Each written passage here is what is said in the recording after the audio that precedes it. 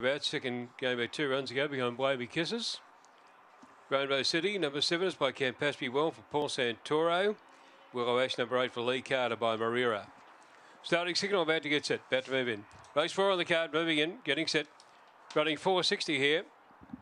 Who is around on the inside in box number one? Looks three vacant. Trust uh, Battlers three and five. Willow Ash in eight, and the green light on. They're set for a start.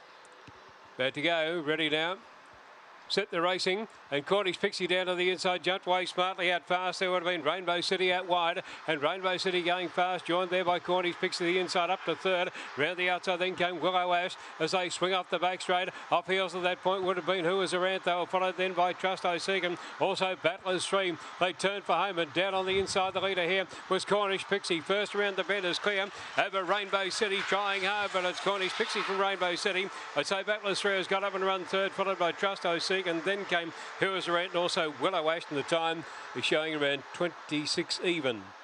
At 26 even the time here after race number four.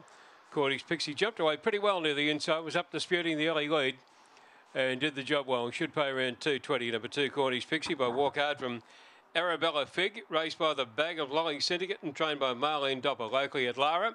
Number two is the winner. Numbers go on the frame 2754 on race four. 275. Fourth went to four. The time registered there was 2601. 2601. Uh, 664 1151 the sections. It was three quarters by three and three quarters. 2601 the time.